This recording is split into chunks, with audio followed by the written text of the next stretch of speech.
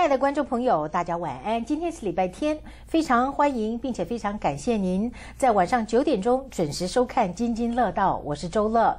在今天我们要替您讲的一个主题呢，是叫做房地产投资的双重选择。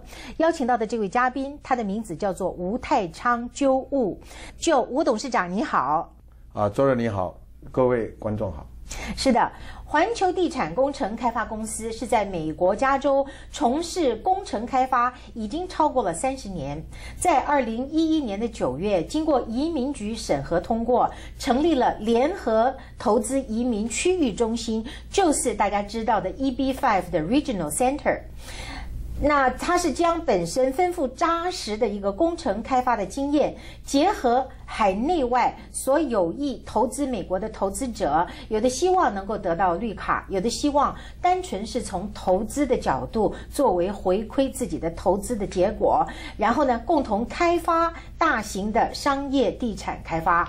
那么我们在访问就之前呢，先要给大家看一下，这个就是 Regional Center 的网站，这个域名呢叫做 Triple。w dot u n i v r c dot com，这个就是证明了就无他们的公司在去年九月已经得到移民局的正式的批准的一个呃 EB Five Regional Center 的网站。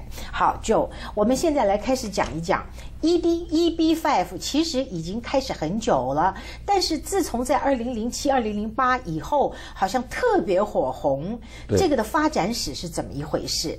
我要这个可以根呃归根究底，就是从一九九二年开始的，这个美国的国会啊通过了这个 EB Five 的这个投资啊方案，那么希望能够引导这个啊我们国内啊这个外外国的人士有兴趣移民美国的啊一个很好的一个最短的捷径。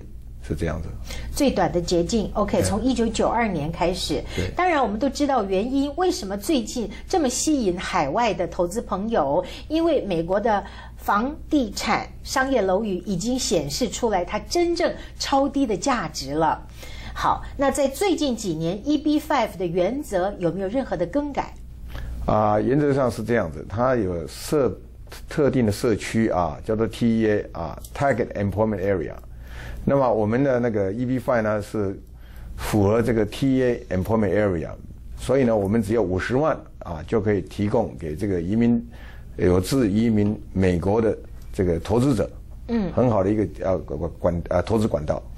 它有五十万，也有一百万。那么五十与一百万的这个中间的区分这个界限，至今还保持不变，是吧？对。啊，这个五十万的话，就是说在 unemployment area，就是说失业率高于全国失业率的一百五十 percent 啊。那么我们中部地区呢，大概呃就是符合这个五十万的投资。那么我们的细谷的地方呢，因为这个失业率比较低啊，所以大概需要一百万是这样子。嗯，OK，明白了。这是个什么概念呢？假如说打个比方，来便利于朋友们来计算，如果说。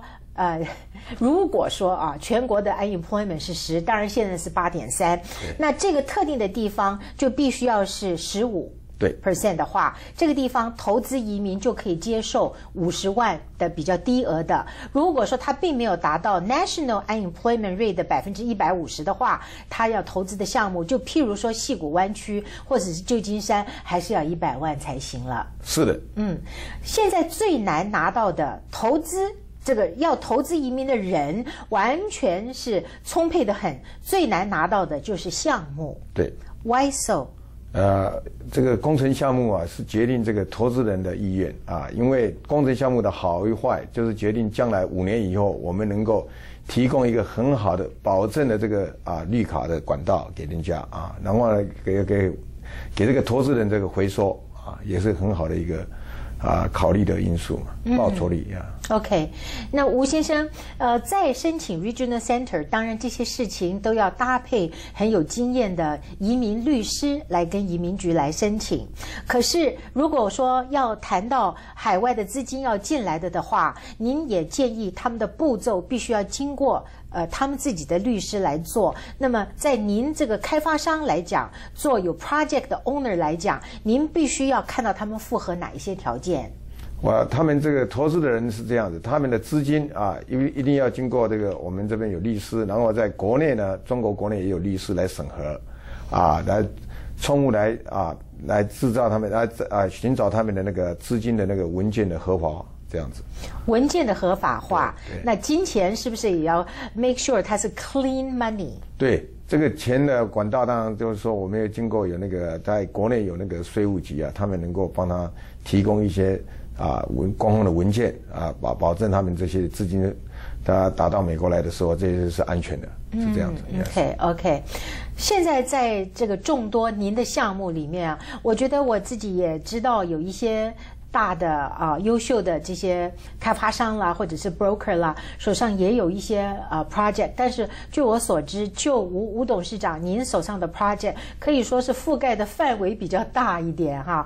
然后呃，整个的 project 的的 unit price 呢，可以说是原来的价值很高，但是因为经过了经济的萧条以后，都用比较低的价钱买进来，然后现在的呢，都已经好像非常的。能让人来 afford，现在呢，大家的 demand 也很高，可不可以开始来给我们介绍几个现在已经呃在进行 EB five 的 project？第一个，我们先讲哪一个？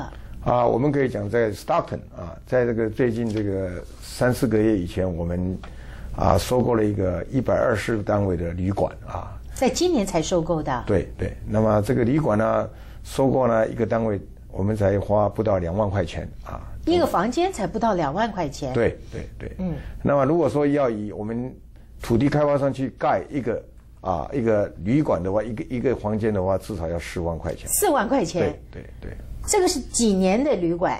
啊，这个是这一九九二年盖的。一九九二年，二十年的旅馆。对。